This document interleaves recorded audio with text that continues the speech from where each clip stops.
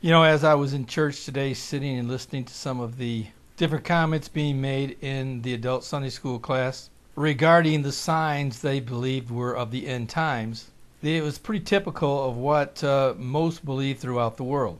For the most part, many were saying that they believed that the Lord was about ready to come because of what was going on in the world, such as what the U.S. President, uh, Mr. Obama, and his wicked uh, decisions that he's made over the last several years and certainly what has gone on, been going on as far as uh, the police shootings and the other various things that have happened in law enforcement.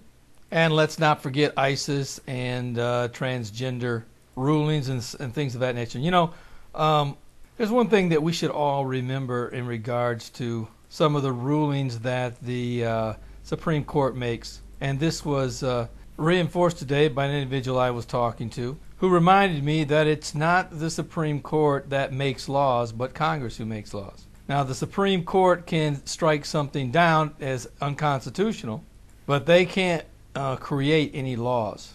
But they're still a very powerful body of uh, people. That's why it's very important to understand as we come into the election for president. Let's face it, the president is not going to do anything mind blowing except for one thing. While he is in office, he gets the ability to select judges and Supreme Court justices. And the fact of the matter is that these justices uh, play a big part in shaping how conservative or how liberal this country will become over the next four to eight years. So, putting in another liberal such as Hillary Clinton would most certainly turn the uh, tide as far as the Supreme Court is concerned. You know, I know a lot of people are worried about Donald Trump and some of the crazy things that he's said and done, but the truth of the matter is, he only has so much power, and the bottom line is is that he won't be able to push his way around in Congress, nor will he be able to push his way around uh, around the world. And let's face it, we can't get any uh, worse as far as uh, foreign policy is con- concerned. I mean, we're already uh, in a Cold War battle with uh, both actually China and Russia, and I don't think our relationship with Israel can get any worse at this point in time. So the, there's a, there are three nuclear-powered uh, nations that we simply don't have a very good relationship with. And frankly, if you're keeping count, that's actually number two, number three, and possibly uh, Israel could be in the top ten that we're on the back burner with. And the way things are going with Russia and both China, we seem to be pushing both of their buttons. And the buildup on both uh, Russia's borders and also in South China Sea, which I've read many an article that indicated that there could possibly be an accidental war. And those are two nations you don't want to have an accidental war with. And when I say that, I mean China and Russia. I don't, I don't see us getting into a war with Israel. But the bottom line is, is that those two nations you simply don't want to get into a war with. But let me get back to my point.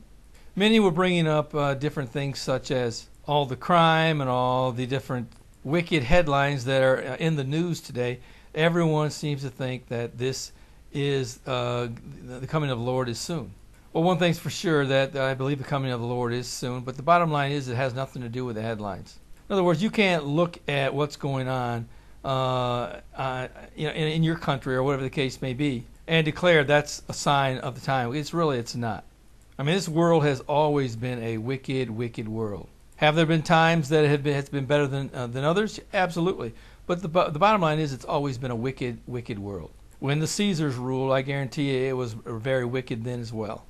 And I can assure you, during World War II, this was a very wicked world. Some of the stories that I've heard, seen, and read, and some of the atrocities that happened during this time, both in World War II and World War One. But frankly, many believe that the coming of the Lord, the rapture of the church, was going to take place at the end of World War II.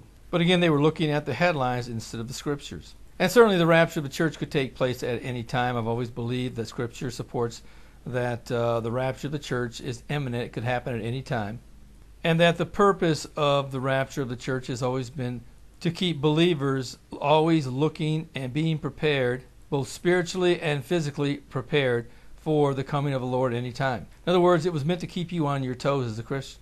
In essence, if you know that the Lord could come back at any time, the principle was is that you would it would keep you ready and living in the Spirit if you knew that was a possibility. So there's really no signs out there to uh, point to to say, well, the coming of the Lord's uh, around the corner. But that all, but the, but things changed when Israel became a nation back in 1948 and regained Jerusalem uh, back in 1967. that opened up a whole new avenue uh, for the tribulation period. And frankly, opened up a whole new sign that would point toward the beginning of the tribulation period. Now, the main sign and number one sign of the start of the tribulation period is that Israel would be in the middle of a peace negotiation with many. And frankly, they are in that right now. In fact, let me tabulate the many right now. Number one, the European Union. Number two, the Arab League. In fact, the Arab League has said that if, in fact, Israel would give back the uh, land of uh, uh, the West Bank to the Palestinians as a uh, state and would give a little bit of Jerusalem to be their capital, and, and they really want half of it, but the bottom line is they're probably just going to get a portion of it. But they, if they could give Jer- a portion of Jerusalem as the capital of Palestine, that the Arab League as a whole would agree to normalize relations with Israel and possibly allow embassies to uh, be built in both states. And a few other things have been said, such as uh, some ideas of trade or whatever the case may be, although they already are in some countries uh, in the Middle East already are trading with uh, Israel. But you understand what I'm saying is they would uh, be, begin to be partners with Israel. And we know right now there are two uh, peace initiatives out there. The two main ones, I should say, are the Paris Peace Initiative and also the uh, Saudi Peace Initiative. Now, frankly, I think that the Saudi Peace Initiative is about ready to put on the back burner because I believe that the Paris Peace Plan is going to take center stage. I believe that Daniel 9, 25 through 27 states that the revived Roman Empire or the European Union would eventually be the peace bringers. In other words, the Antichrist will come out of that block of nations. And in these last days, as we speak, the European Union has taken the lead role with the United States and the Arab League in the background. And they are now center stage in charge of trying to bring peace to the Middle East. And when I say to the Middle East, I mean to between Israel and the Palestinians. And frankly, I believe before the year's out, I think that they are going to they're going to go from being nice and having their little conferences to it finally coming down to the U.S. threatening Israel to uh, either get into the peace process or they would no longer veto any type of resolutions that come before the UN Security Council. So, in essence, I believe that Israel is going to be forced into becoming a peace partner with the Palestinians because they are going to be threatened by the United States and also sanctions very well may be handed down to Israel. Now, it's hard to say how the Antichrist will rise up out of the European Union, but the bottom line is that the Bible says that the uh, revived Roman Empire would one day again rise up and become the peace partners that would bring, bring peace to Israel and many. And my point is that that's where we're at right now. And by the end of the year, uh, they're looking at bringing about a peace conference that I believe is going to be set up to bring a lot of pressure on Israel. And I believe there's going to be a lot of um, behind the scenes pressure before Israel even gets to the conference to ready them for uh, what is to be done in the latter part of this year. And don't look for Mr. Obama to be doing anything nice for Israel, since this is his last hurrah and he'll be done by uh, January of 2017. I look for him to pull something off between now and then in order to put a tremendous amount of pressure on Israel. And you know, the next president who, whom we have, whether it be Hillary or whether it be Donald Trump, frankly, I think Donald Trump is going to win, but uh, again, that's a guess on my part. But don't expect him to be any more compassionate toward Israel than uh, Obama. You know, early on in his campaign, he said that we don't even need to be in the Middle East. Simply, it's not our problem. Let them sort their own problems out. And I have a feeling that that's really the kind of uh, position that he would he's going to take if he does win. That's why I believe that probably the European Union is probably going to take over once Mr. Obama leaves. And it would not shock me a bit if Trump um, turned the complete reins over to the European Union and said, listen, whatever I got to do in order to make this peace process happen, and whatever help you need in order for it to, to become a reality, I am in it and I will do it. So he may also tell Israel, listen, you got to fight your own battles. We're no longer going to stick up for you in the UN. You need to make peace, and if you don't make peace, what's going to happen is that we're no longer going to stick behind you and uh, veto any resolutions that come up. So that wouldn't shock me either. I, you know, I just feel that Hillary, that's what she's going to do as well. So as far as Israel's concerned, I don't know if there is a good outcome for them in the uh, 2017 election. So what are some of the signs that we should be looking for? Well, we're in the middle of them right now. Number one, when Israel became a nation back in 1948, the Bible says the generation wouldn't pass away until he would come. And when I say he, I mean the Lord Jesus Christ. That means he would come for his second coming. Well, two things have to take place before that happens. One, the tribulation period has to start seven years earlier. And two, before that, the rapture of the church has to take place.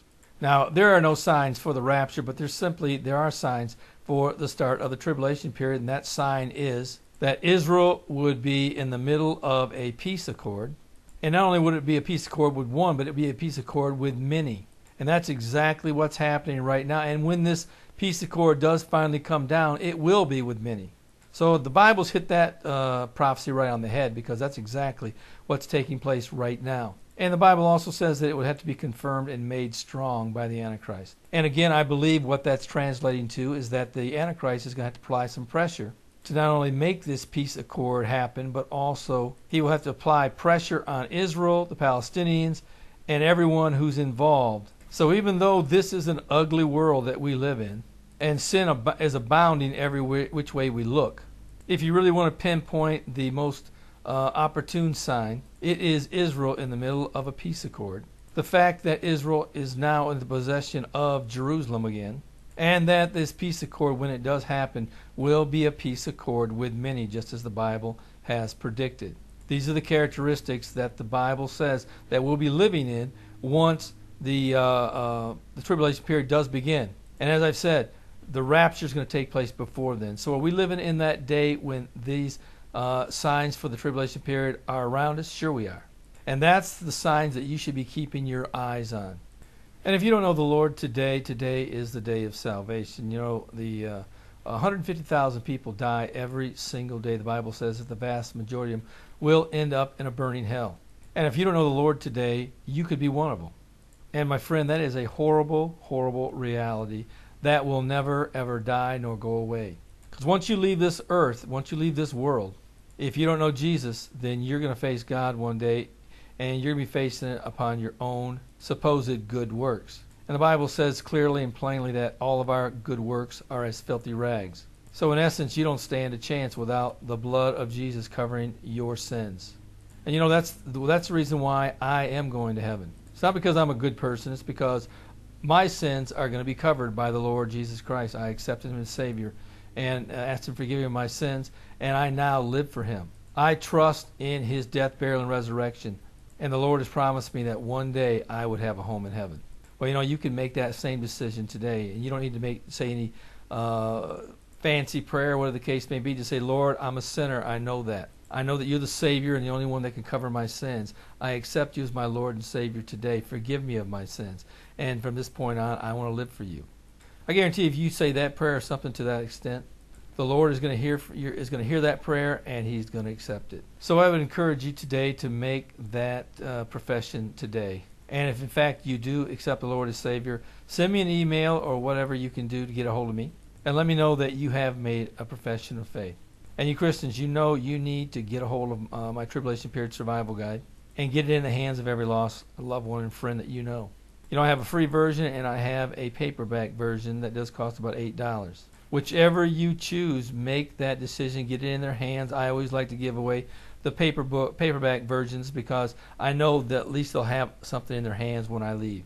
And you know, they, they could get saved before uh, the rapture takes place. As I said, uh, I'm right now in the middle of a translation uh, of my Tribulation Period Survival Guide into an additional four or five languages. And one of the editors who was editing the book uh, read the book and they decided to give their life to the Lord. So it's possible that they could come to the Lord by reading this book before the rapture takes place. And, uh, uh, you know, that's something that you've always wanted, isn't it? So I would encourage you to get a copy and give it to your friends, your loved ones, your or whomever it is that you have in mind to give to, and uh, do it today. Well, this is Terry Malone with the Calvary Prophecy Report.